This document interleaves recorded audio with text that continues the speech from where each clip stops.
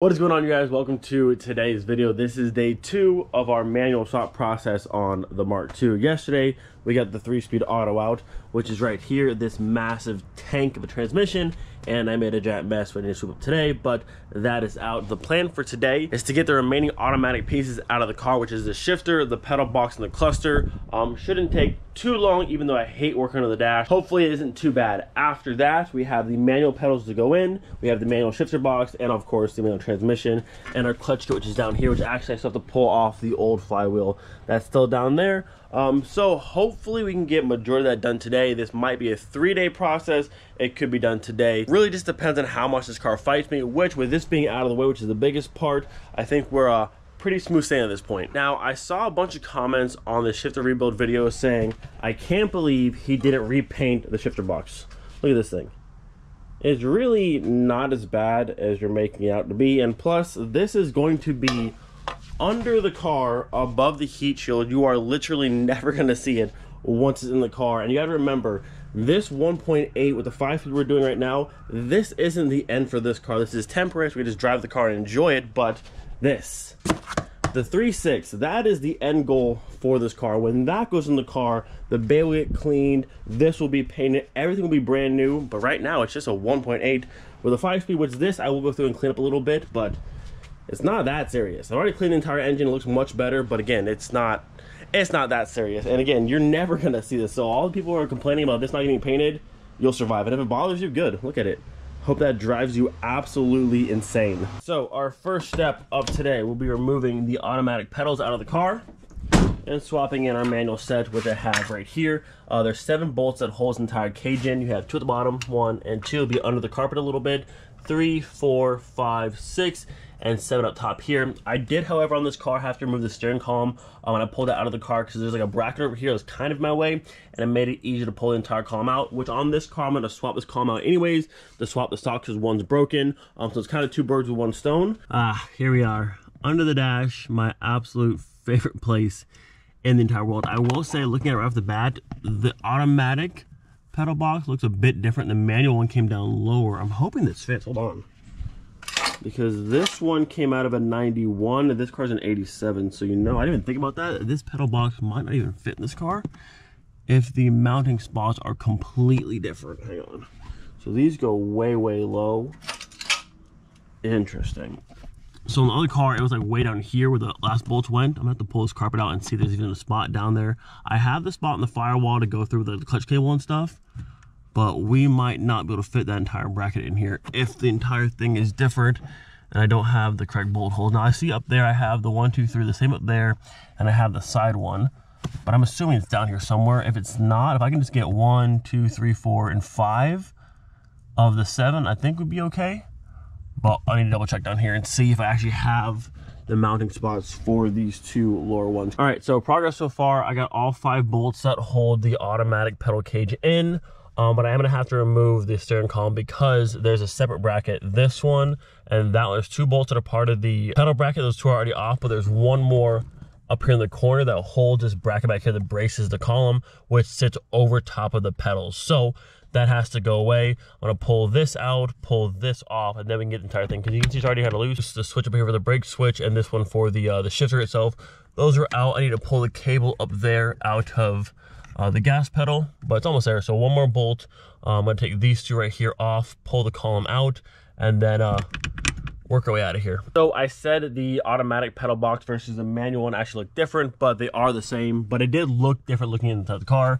But if you look way down there, you can see that is the bolt there. So there's one there and one there. It's exactly the same as this one. I'm just getting to these last two ones that are way way under the carpet. For some reason, all just look different, but the pedal box are actually the same. There's just no clutch pedal or the clutch uh, stuff over here. So at this point, gas pedal disconnected. Um, this whole bracket back here for the steering column disconnected. Our whole entire wheel and column is out. So all that's left is the last two bolts, and I think that's it. Unlike the manual car that has this one up here on the backside, that goes to the firewall, which is the cable for the clutch. That actually pinches the firewall and helps hold the cage in. I don't think the automatic one has anything like that because brakes undone and gas undone, that's it. So once these last two bolts are out down here, we should be able to maneuver this thing free, hopefully.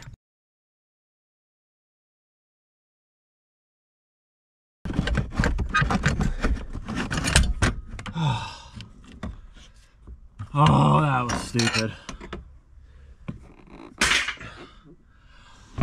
I'm sweating.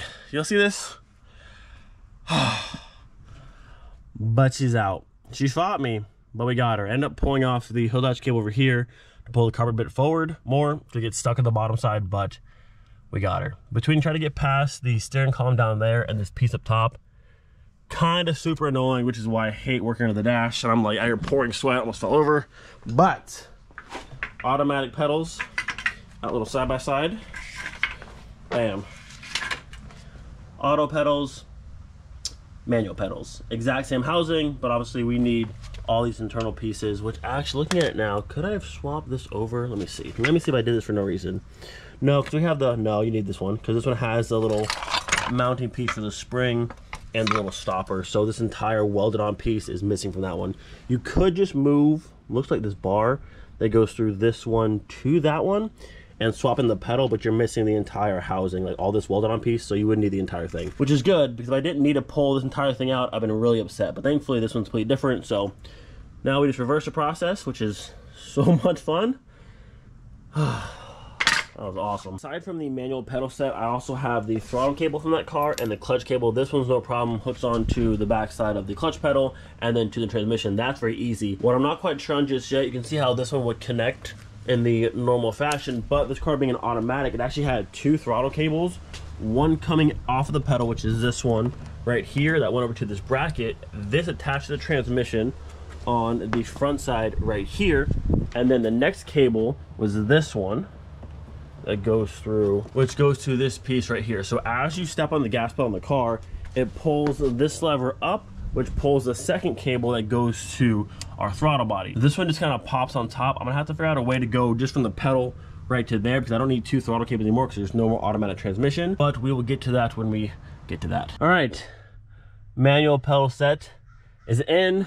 And something I should have done when I was pulling the automatic set out, which I did in the parts car because it was a parts car I really didn't care, yank this out. It is the vent that goes from here over to there and it sits like right above the column. It is in the way and it is so annoying on the way out. I still want to pull it out and break it, but she's out. It didn't break, just this thing is in the way so much because this piece sits right above here by this last bolt and it takes up so much space. So do yourself a favor, yank that out immediately and the whole process is much easier. So this is back in, we have all the brackets and bolts to do. And then, uh, yeah, hopefully that is our last time under the dash. Okay, so majority of the pedal box is in, it's all bolted down. Um, most of it's connected. I'm trying to reconnect the steering column here. Now I'm gonna swap to the newer one because my wiper stalk is broken on the back side, but the connections to that stalk are newer than this one, so I can't plug it in. So I'll have to get another one of these ones that has the piece in the back that's not broken, but that's not the problem. The issue is I do not know, like, I don't know what I'm missing. I've taken out and put back in so many steering columns and I've never had this issue. And again, I don't know what I'm missing, but I cannot get the steering column to go into the knuckle far enough. You can see the gap, the little silver spot there.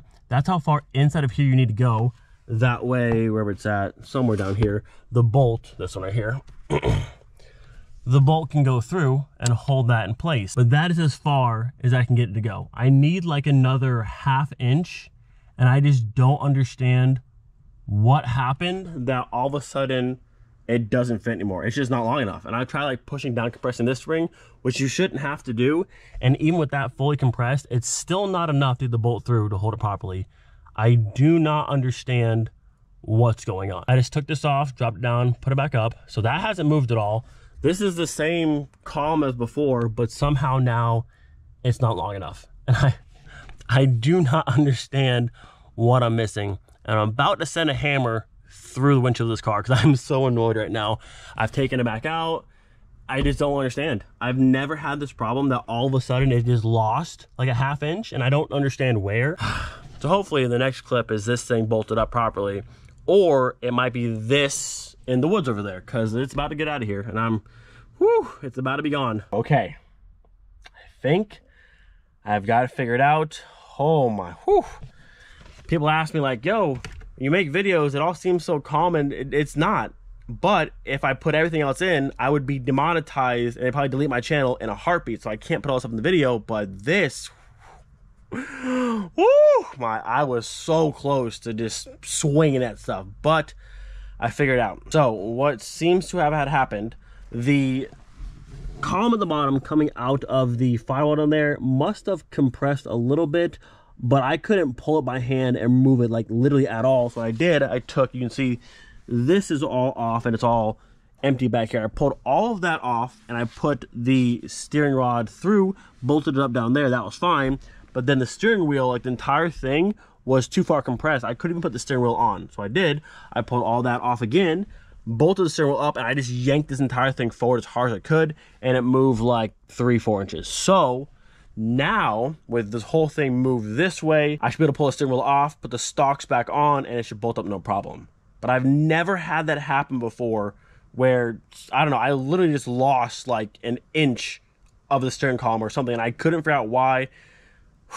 just frustrating. But it's all good. So now if you ever pull it apart and you can't get it to reach again, you have to do this and kind of yank your steering wheel and pull everything back this way because like I said, I've never had it happen before, but it did, and it was really pissing me off because it just made no sense, but it's okay.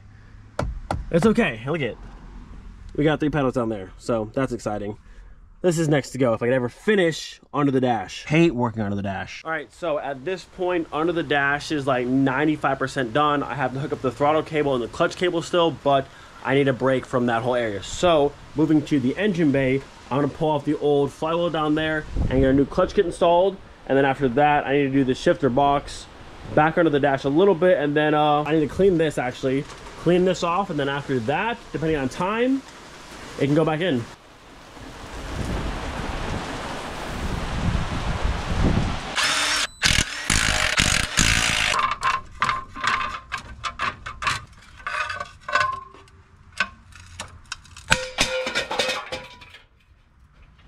Got it. Woo. Almost landed on my head. That would have sucked. But she gone. All right, another piece of the automatic is now out and out of the way. The only thing left in this car, well, the cluster and the shifter box, and then after that, all the automatic pieces are out of this car. Um, I do have the manual cluster out of the other car for this car, but that one's a 91, this is an 87 uh, the plugins in the back might be different. But in the grand scheme of things, as long as all of this works, the transmission and the shifter, obviously we still drive the car. I just won't have the proper gauge cluster just yet, which I can get later on. But as long as like this works, we're okay. So that's out of there. We're gonna clean up all that and we can go ahead and install our clutch. It's actually my first time doing a clutch on an 8 valve. Normally you would do the flywheel to the block first, then the clutch plate, then the pressure plate on top. But on these ones, it actually goes uh, pressure plate first. Then you have this little piece that sits inside, like so to cover the bolts, if I can get it in there, like that. Your little snap ring sits under these little grooves, and these two ends go in the holes right there. Then afterwards, clutch plate will go this way, sitting on the inside like so. And then this is your clutch alignment tool that sits in there, which fits in the center of this like so. So a little bit different than what I'm used to doing, but still not too difficult to do. We have new bolts right here. I have new bolts to hold this to the pressure plate, and it should go very smooth. Check it out. First step officially done. The pressure plate is in. All the bolts torqued down to 44 foot pounds and a quarter turn after that and our new little cover is on. So this is all good to go. All right, next up, we are ready to put our brand new clutch and our flywheel back into the car. Now, what they want to show fast, there is, right there, my finger, is a little pin, you can see, the bottom side, a little dowel pin. That matches up with one spot on the pressure plate, which you can see, there's a gap above my finger. That gap right there, right here, so it's not an actual hole, it's a gap. That one right there. That lines up with this dowel pin right here. That's how you line the flywheel to the pressure plate. And I have, well, I had my alignment tool holding that in there, which I'll do in a second again. Um, that holds the clutch plate. This lines up with that, and then everything gets bolted together, and you should be good to go. So after a lot of fun, our flywheel is now matched up with our pressure plate. In theory, it's very easy to match up the little dowel pin with the cutout on the uh, on the pressure plate, but when you're actually trying to hold it up and this thing's heavy, takes quite a while to get it right. But I finally got on there. You can tell because it's nice and snug and it's not spinning above the first one. It's all one unit, which is good. So I have all my bolts here. We're gonna put all those back in. And then after that's tightened down, we'll pull out our alignment tool and then uh, this is done. All right, let me show you Bam. Clutch kit officially done and in the car and good to go. So, the last thing I want to try and do tonight, because you can see very, very dark already, um, I want to get the automatic shifter box out of the car and get the manual shifter box in the car. That way tomorrow it's just transmission in, hook everything up, and we're pretty much home free minus figuring out the throttle cable and a few other small things. But the big stuff the transmission the shifter box the pedals that'll all be in the car. We can figure out the small things afterwards but i want that shifter box out tonight. That way tomorrow it's a few things and hopefully she's running. So for us to get to the shifter box it's a lot of fun. We must get under the car. We have to undo the exhaust right there drop it down drop the entire heat shield all of that out of the way. And then above that is where the box is. There's four bolts that hold it in. And i think maybe two on top.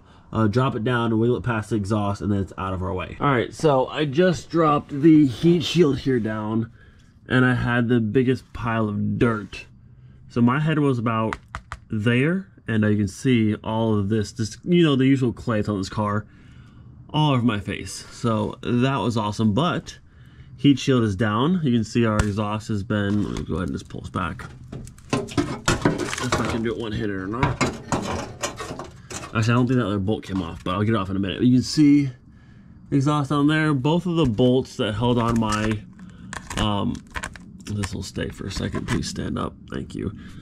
The exhaust clamps snapped clean off as you would expect, so those are gone. I need new bolts for that, but I'm kind of thinking while I'm pulling, you know, majority of the exhaust off already, I might just do the headers and the new exhaust because I mean this is already off, this is already unbolted, I already snapped some bolts on there.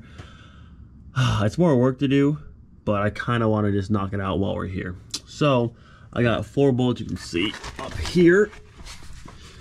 Under all that clay, you can see the shifter box up there. So there's four bolts that hold it in. Uh, got to undo those, drop that out, and then um, yeah, making progress. Yeah, all this dirt right on my face. That was awesome. Love that. So the four bolts under the car have been unbolted. Now going to do the top section up here. This top panel should pop off somehow. And then I think it's two in the back side that hold just the top section. Once that's off, send the entire thing down and it's out of here. So with our top cover here removed, there's a plug-in on the back side and a plug-in on the front side. But I'm not quite seeing this screw here is just holding this plastic center console to um this is the tunnel is actually to the box? Where's the box. So I think that needs to come out. But on the back side these two here there's no like screw. And they're not holding anything but the entire box is still pretty stiff. So I think it's just this last screw right here in the front. And if that's all it's holding it I guess uh oh yeah I can see it now I guess that's it so I'll unplug these we'll unscrew that and then hopefully it'll drop down. So there's a very small Allen key that holds a set screw that keeps the top of your shifter here on. I'll loosen up a bit and this should come off. Together, I guess. Or there's two. There two? There's one here too. Oh, there it is. Boom. Alright, so there goes that. That's off. This one's unplugged. The one in the front's unplugged, and now we'll do this last screw. Actually, I'll pull this off first. Get that out of the way, and then we'll do this one. I think it should just drop out of there. If this is the last screw, which I think it is. Moment of truth. Yeah, great success. So, the only thing holding up is just one screw on top, which is interesting. So, four 13s in the bottom, one just Phillips head screw on the top, and uh, so that's it. The last piece of automaticness in this car is out of here. We got three pedals down there. This is gone. I guess we have the auto cluster, but that kind of is what it is. This is gone. We're just sick. No more. No more. You go ahead and grab this. Where's it at? Yes. Get out of there. Get out of there. Bam. Auto shifter officially out of here. So, one last thing to do tonight. Get our manual shift box into the car. This piece has to get bolted up into the engine bay. Back over there on the steering rack. And then we'll feed uh, this rod through and then get this piece bolted up. And then, that's it for today. Good progress. Look at that. We got a manual clutch kit in there.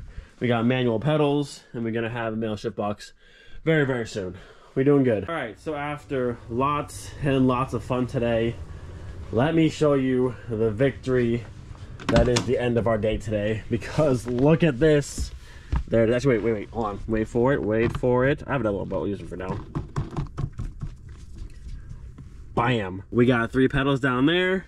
We got a manual shift box up here, ladies and gentlemen. She is no longer an auto. Look at this. Oh, it just, it feels right. It feels right. If I can go back, obviously I'd buy a manual one first, but I love that we saved this car. I thoroughly love this car. 300 bucks. If I didn't buy it, they were going to scrap it. So I'm so glad we saved this car. But if I had my way, I wouldn't buy another automatic because the starter's trash. But now we got the three pedals. We have the manual in the car. Well, the trans isn't in the car yet, but we're, we're close. You know, we are. Ooh, we are so close. So at the end of day two, I think we're sitting in a pretty good spot.